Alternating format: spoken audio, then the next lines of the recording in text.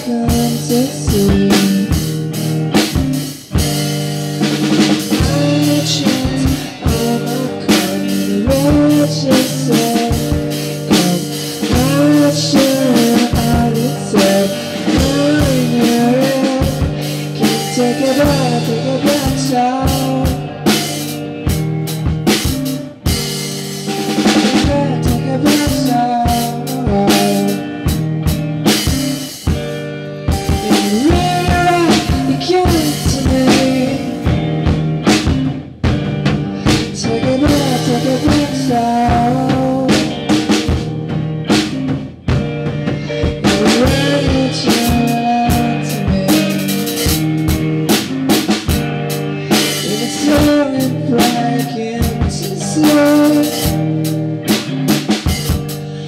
it back, take it back, so take it back.